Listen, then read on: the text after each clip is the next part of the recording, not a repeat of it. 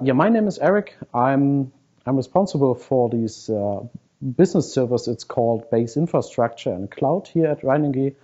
Um, my role is IT service architect, so I'm responsible for all these visions, statements, strategy within these business services here at RheinEnergie. I think RheinEnergie just do a, a, really a really cool move the last year. So um, as you see, we got some slogans behind me, um, and um, in my opinion, it's it's really cool to to be part of this RheinEnergie team because I think the last years we we are really innovated Um, and we introduced all these all these cool stuffs around multi-cloud and around all these all these uh, tools which which we integrated here in this platform and was a really a cool journey. Hopefully hopefully it's getting more better and, uh, and more more this way uh, the, the next years and hopefully it's it's going to be good and going to be the best service for our customers i think that's the main part of this yeah um, I think we was we were one of the first uh, customers here at Aviatrix in Germany, maybe one or the first or the second one.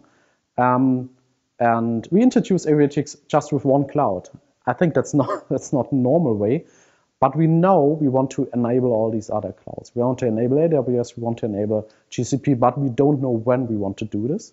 And we need this we need this baseline. We need this baseline to adopt all these all these cloud features in a way in a, in a really in a really easy way. We got this, this vision of multi-cloud strategy. So we know Aviatrix should be the baseline for all these for all these cloud interconnections, for all these cloud communications, and for distributing firewall security, all the things within cloud. So we are really naked about about uh, these features within cloud, about these networking features, and Aviatrix gives us some tool sets uh, to set, okay, uh, you can do this in AWS uh, you can do this in Azure and you can do this in GCP, and it's all the same way you can manage it within one platform, within all all these one policy set, and you can say, okay, that's that's uh, that's just a, this point for AWS, that's for Azure, and it's for GCP.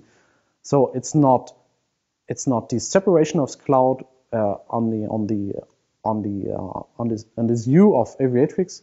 It's just one big multi-cloud, and you can use Aviatrix the same way in all these hyperscalers. And that's the reason why we choose Aviatrix because we want to keep the skill set uh, in the team and it should not be separated.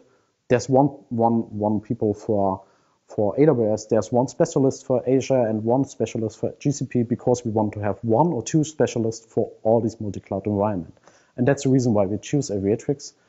And I think it's a good, it's a good choose, yeah.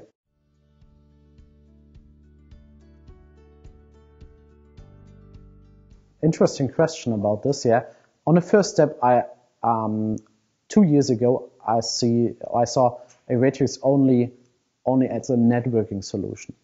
Um, after implementing all these features, which comes at the last two years or the last three years, um, I see um, as a combined solution, combined solution between security in a multi-cloud way and networking in a multi-cloud way. So these, these two layers are based on each other.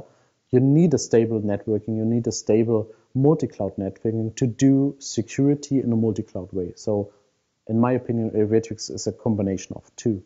It's a combination of these two pillars.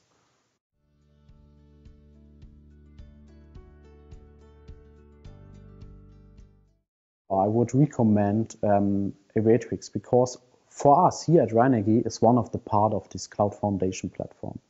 Um, doing doing not only IAM compliance policies and all these things within foundation uh, for multi-cloud, one part of this is networking and security. And I think um, this is really, really solved in a, in a really cool way with Aviatrix, in a really easy way with Aviatrix. You can introduce or you can implement this uh, within all the other tools because it's it, it got an API and it's programmable uh, with all these infrastructures, code stuff.